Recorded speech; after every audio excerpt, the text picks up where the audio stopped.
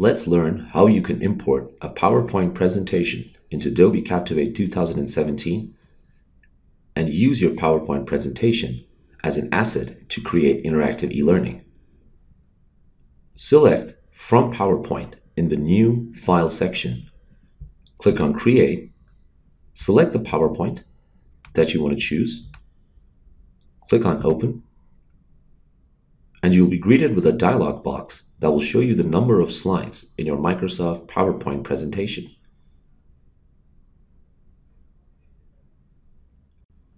And choose the number of slides that you want to include in this particular project. For this particular demonstration, I'll choose the first three slides of an otherwise extensive presentation that I have. I'll click on OK.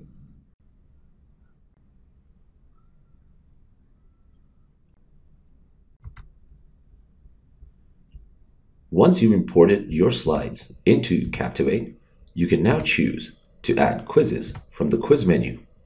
You can also choose to record audio and even import video into your project.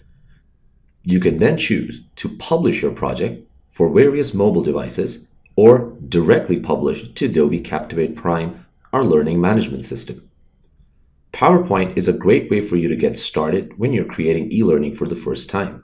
If you have a lot of PowerPoint content, you can directly import it inside Captivate and begin to create your first e-learning project.